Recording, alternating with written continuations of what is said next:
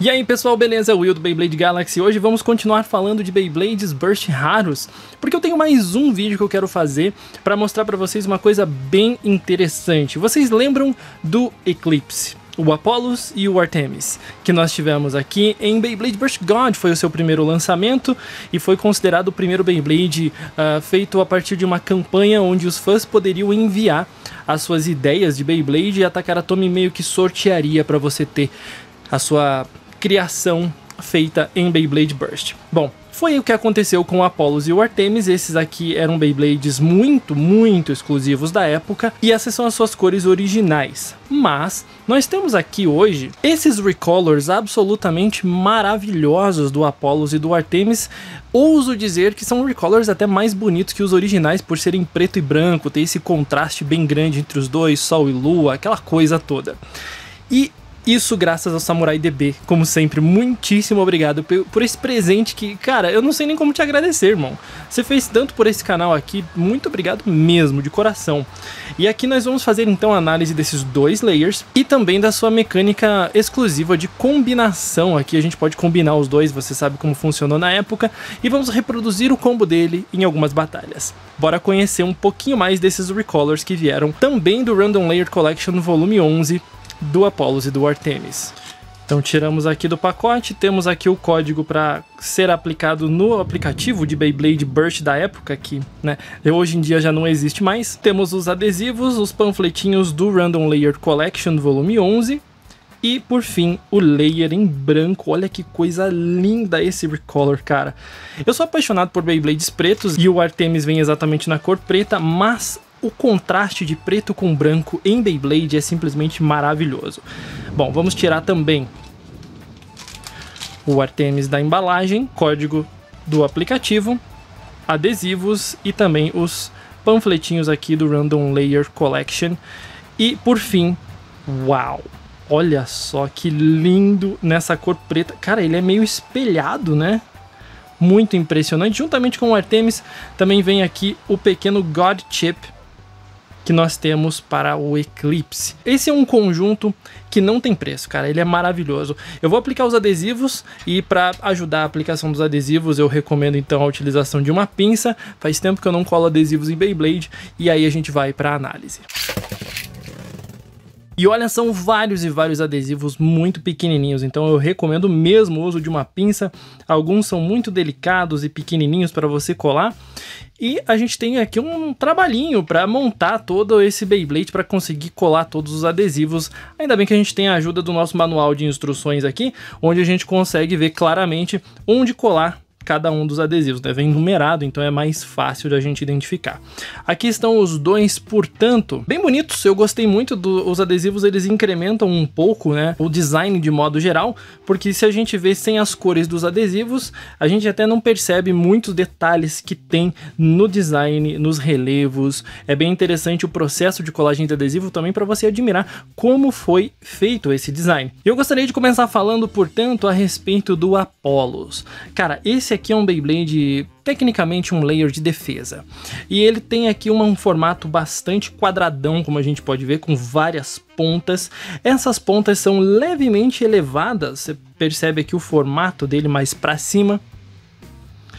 E isso daqui vai fazer com que ele consiga contra-atacar ou repelir ataques que venham dos oponentes. Pela sua forma ser bastante simétrica e por ele ter vários relevos, onde nós não temos um espaço muito grande entre esses pontos de contato, faz com que esse Beyblade aqui, esse layer de maneira geral, seja bastante defensivo por isso. Então a ideia com ele é repelir os ataques dos oponentes, fazendo com que ele tenha aqui mais equilíbrio no seu giro e faz com que ele tenha menos recuo, porque seus pontos de contato não são assim tão agressivos. Além de notarmos a mecânica que possui aqui desses layers, que a gente vai explorar já já, nós temos também as travas, que são travas bem ok, né? Para um tipo defesa, eu diria que são travas bem ok. E assim nós concluímos esse que é um Beyblade muito, muito especial para ir para o seu próximo, que é bem interessante. O Artemis é mais voltado para ataque claramente. Olha esse design aqui. O design do Artemis remete muito mais a um tipo ataque com pontos de impacto muito evidentes e muito espaçados também.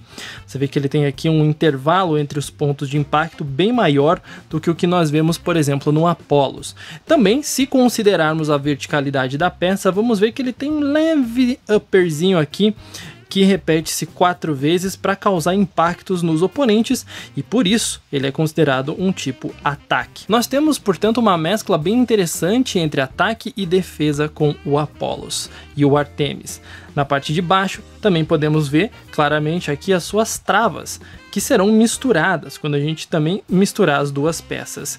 Interessante ver como foi construída essa peça e o preto e branco fazem uma combinação muito bonita, um contraste muito interessante aqui e claro, a gente não pode esquecer da mecânica principal desses dois layers que formam um conjunto muito incrível. Caso você precise de instruções sobre como montar a fusão desses dois layers, vem um panfletinho extra aqui mostrando como você faz o encaixe e como funciona tudo certinho.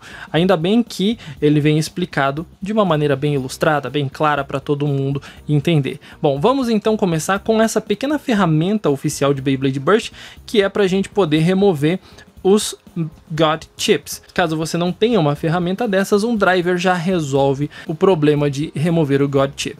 Bom, vamos pegar então o Apollos, vamos encaixar esta pequena ferramenta aqui, destravar o God Chip para removê-lo dessa forma. Agora nós deixamos de lado, também vamos fazer o mesmo com o Artemis. A gente vai remover o God Chip aqui. Removê-lo dessa forma. E agora sim a gente pode desmontar.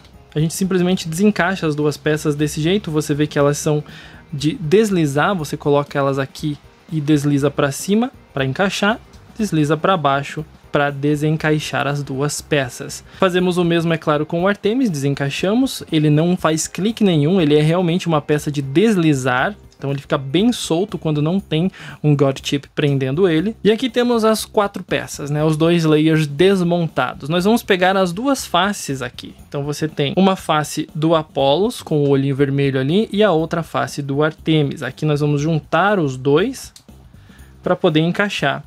E aí a gente tem todo um design coerente aqui com os adesivos. Você vê que ele forma meio que uma espada. É bem bonito como que tudo converge no design. Pegamos também o God Chip especial do Eclipse. E definitivamente não é um A1, então talvez isso seja um problema. A gente vai encaixar o God Chip aqui, travá-lo. Aqui nós temos então o Eclipse de God Layer System. Olha que peça bonita, como disse, combinando muito mais do que o original, eu diria, porque nós temos o preto e o branco, o sol e a lua, enfim. É claro que no original nós temos o dourado e o roxo, mas esse contraste de preto e branco me agrada muito, muito mais. O mais legal de tudo é que a gente consegue perceber claramente que no design dos adesivos a gente também tem uma visão clara do que eles pretendiam fazer aqui, né? Um design com uma espada passando pelo centro, dividindo o o claro e o escuro.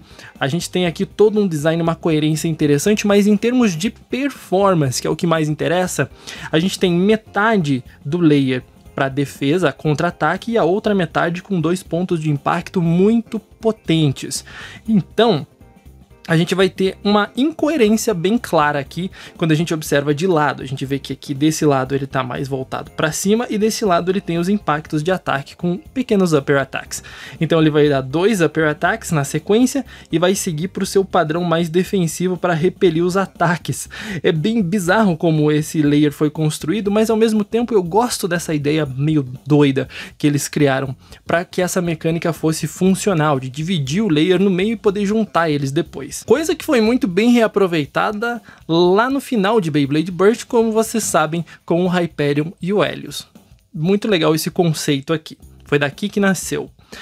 Outro ponto interessante também são suas travas, que também vão mesclar aqui a quantidade de cliques. Você vê que de um lado ele tem mais cliques do que do outro, então ele vai ter cliques diferentes ao encaixar no driver. E também é curioso a gente perceber a diferença de peso nas duas peças. O lado branco com certeza tem muito mais peso do que o lado em preto, que é um pouco mais fino. Então a gente vai ter aqui também uma instabilidade maior na movimentação desse Beyblade. Não deixa de ser uma peça absolutamente linda. E você deve estar se perguntando, beleza, mas e as outras metades? A gente consegue encaixar e fazer um outro layer? Uh, não. Infelizmente, a Takaratomi nos bloqueou aqui e a gente fica com essas duas peças meio que inutilizadas. Diferente da Hasbro, que permite esse encaixe aqui, eles fizeram um design que a gente poderia combinar essas duas peças, esses como são da versão da Takaratomi, a gente só deixa de lado, não tem muito o que fazer mesmo. E aí nós temos, é claro, o combo do original, né, que eu coloquei aqui no meu Apollos. O combo dele era um 7 Star Unite que eram peças bem exclusivas também, vinham com brilho e tal. E eu peguei e montei um 7 Star Unite também para o Artemis, que eu vou tirar agora essa peça aqui, para poder montar no nosso a diferença de cliques é muito clara, é muito interessante. E aqui nós temos então o nosso Eclipse 7 Star Unite. Eu não tenho um Unite preto e branco extra para poder usar aqui nesse combo, ia ficar bem bonito. Vamos ver a parte visual com as peças originais, que devem ser muito bonitas, considerando que o Disc 7 vem pintado na versão original. Então a gente tem aqui uma coerência de cores muito maior, com bastante preto, mas também com esse branco, esse transparente, esse brilho que a gente tem no driver, deixando o modelo muito mais bonito. Super desequilibrado não apenas pelo layer ter pesos diferentes, mas também porque ele tem um 7, que é um disc bastante desequilibrado. Isso não impede a gente de querer fazer alguns testes, porque como eu não gosto de gastar os Beyblades raros que eu tenho com as cores originais, em especial esses aqui que vêm com esses adesivos que você vê que são adesivos de papel e eles rasgam com uma facilidade muito, muito grande. Esses são de coleção por isso. Então a gente pode montar aqui essa peça exclusiva que veio com os adesivos plásticos melhores, que tem um desgaste mais moderado do que os com papel. A gente vai poder colocar eles na arena para ver como se sai contra alguns Beyblades do sistema God Layer. Vamos ver? Vamos fazer então algumas batalhas. Eu vou começar com o Apollos, com o combo padrão, 7 Star Unite, contra o God Valkyrie padrão também. Vejamos se temos uma performance defensiva interessante do Apollos. Centralizado já, o Unite está um pouquinho gasto, então é comum que ele fique no centro da arena. Valkyrie vai ativar o seu reboot, vai para cima do oponente. Não que o Valkyrie seja um exemplo de atacante, mas ele consegue desestabilizar bastante. Aqui o Disc 7 prejudicou um pouquinho o nosso Apollos. Tá 1x0 pro Valkyrie. Vamos pro próximo round. Vamos fazer batalhas até dois pontos, que tem muito que testar. O Valkyrie atingiu muito bem o seu oponente. Vamos ver se o Reboot vai fazer um bom trabalho quando ativar. Tá ativo. Lindo! Olha aí o God Valkyrie. Marcou 3 pontos já de início contra um bait de defesa. Hum, é. Pra gente não se apegar tanto a tipos, não é mesmo? Vamos com um oponente um pouco mais equilibrado, que é o Spriggan Requiem no modo ataque de giro à esquerda. Vamos ver se o Apollos aguenta um pouquinho mais. Spriggan vai pra cima. Oh, circula bastante ali na borda da arena. Vai pro ataque. Uh, o Apollo já inclinou muito aqui. Tenta fugir bastante do Spriggan Requiem, mas o Apollo vai perdendo muita resistência por conta do Unite e também do desequilíbrio do Disc 7. Rola uma pequena equalização, mas é, não foi o suficiente. 1 a 0 pro Spriggan. Seguimos no mesmo modo. Spriggan Oh, inclina muito o oponente. Olha só o Apollos como foi desestabilizado pelos ataques iniciais. Spriggan Requiem num padrão estranho para uma ponta de ataque, mas tudo bem. Vai rolar mais uma pequena equalização e acho que vai ser vitória do Spriggan de novo, porque ele tem mais equilíbrio, exatamente. Dois pontos. E o próximo é um atacante bastante feroz, Nightmare Longinus. Oh! Apollos conseguiu repelir bem, mas o Longinus é muito mais pesado. Esse Beyblade é uma sacanagem, cara. 1 a 0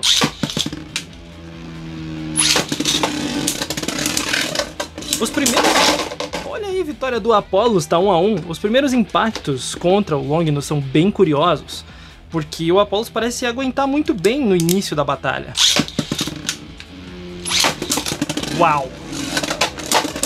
Longinus vai para cima. Olha aí o Unite segurando na bordinha da arena por um momento, mas não foi o suficiente. Agora vamos fazer uma rodada de batalhas com o Artemis com o mesmo combo, 7 Star Unite, contra os mesmos oponentes. Vamos começar com o Valkyrie. Vamos ver se com o layer de ataque as coisas mudam, os resultados mudam, depois a gente combina os dois para também fazer o mesmo teste.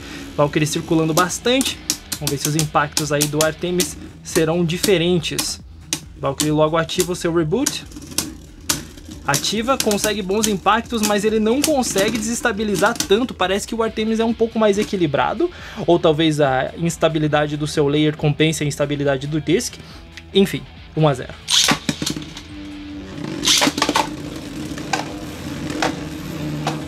Valkyrie lança um primeiro ataque, centraliza o seu oponente, meio que prepara para quando o reboot ativar. Vamos ver se a gente vai ter um resultado interessante aqui. Reboot ativado, mas o Valkyrie não consegue desferir ataques potentes como foi na última batalha. A vitória do Artemis, interessante. Vejamos contra o Spriggan Requiem. Mesmo modo. Giro à esquerda, modo de ataque. Spriggan bate muito nas paredes da arena, mas vai direto para cima do oponente. Dá uma investida bem interessante, desestabilizando o Artemis. Vamos ver se vai rolar algum tipo de equalização. É perceptível como o Spriggan é jogado mais para longe por conta do ataque que tem o layer do Artemis, então dá uma diferença bem grande no resultado, pelo menos na performance inicial. E olha, ponto para o Artemis de novo, interessante.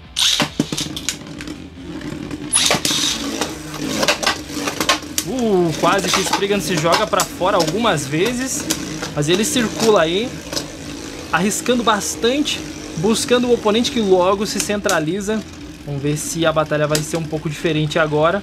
Artemis já está perdendo muita estabilidade, mas o Spriggan pode acabar entregando um pouco de giro para ele. Então pode rolar uma equalização bem interessante aqui, diferente do que a gente viu na batalha anterior com o Apollos. E mais uma vez o Spriggan cai, olha só, gostei desse resultado, hein? Mais um teste ataque contra ataque, dessa vez contra o Nightmare Longinus. Vamos ver os impactos que o Artemis consegue Uou, contra um Nightmare Longinus. Já aguentou bem mais do que o Apollos, hein? Longinus foi um pouco repelido também, é perceptível como ele foi um pouco desestabilizado, seu padrão de ataque foi anulado pelo Artemis graças ao combo. Que interessante, mas o Destroy acaba salvando muito o Longinus aqui, tá 1 a 0. Se o Longinus consegue pelo menos um over. Uou! Artemis se salvou duas vezes e ele foi quem conseguiu o over. Mas que batalha linda. Bom, tá claro aqui qual dos dois é melhor, né? Mas agora chegou a vez de combinarmos os dois, Apolos e Artemis. Vamos ver como eles se saem, começando com Valkyrie. Aqui temos uma combinação de ataque e defesa, ele fica muito interessante quando girando, as cores ficam bem diferentes. Vamos ver se vai surtir. Olha, o desequilíbrio aqui falando muito alto. Será que ele vai conseguir um padrão interessante para cima do Valkyrie, que começa com o reboot ativado ali, mas cai. Ó, oh, gostei, gostei muito. 1 a 0. Uau. Esse round foi maravilhoso, cara. Valkyrie consegue um burst lindo, ao mesmo tempo que o Artemis e o, aliás, o Eclipse conseguiu uma movimentação incrível na arena num padrão de contra-ataque, mas Valkyrie acabou vencendo. Seguimos para o Spriggan Requiem. Será que o desequilíbrio do Eclipse vai funcionar contra o Spriggan? Que também continua no modo ataque de giro à esquerda, buscando a instabilidade do oponente? Spriggan não tem golpes tão poderosos, mas ele consegue desestabilizar bem o oponente, porque o seu layer também tem uma distorção curiosa. E aí ele, na equalização, acaba derrubando, graças, como disse, ao desequilíbrio que nós temos dois pesos diferentes aqui nesse layer. 1 a 0 para o Spriggan.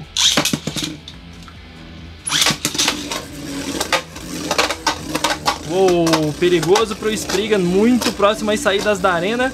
Dessa vez ele foi para uma estratégia mais de stall, para tentar derrubar o oponente, minando ali a sua estabilidade, atacando aos pouquinhos. Spriggan Requiem é bem assim mesmo, cara. Vai tentar uma equalização, mas contra o Spriggan talvez seja difícil. por pouquinho, mas foi do Spriggan. Seguimos para a luta final entre Nightmare Longinus e, claro, o Eclipse. Uh, Longinus começa circulando bastante, Destroy ajuda ele a acelerar um pouco na borda da arena. Logo ele vai partir para o ataque, mais uma estratégia de stall aqui para ver se a gente derruba o Eclipse. Longinus com poucos ataques já claramente inclina bastante o Eclipse, então a gente vê aqui que é uma questão de equilíbrio mesmo, a gente tem que trabalhar um disc melhor para fazer o combo funcionar melhor. E claro, o Destroy salvando muito o Longinus, tá 1 a 0.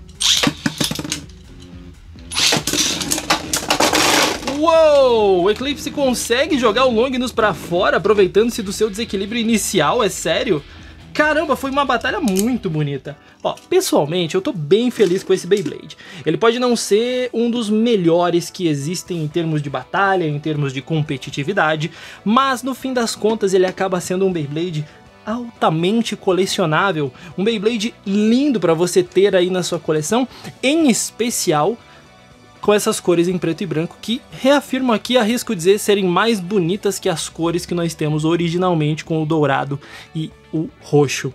Eu espero que você tenha curtido esse vídeo, tenha curtido esses testes de performance e também tenha aproveitado conhecer um pouquinho mais desses layers.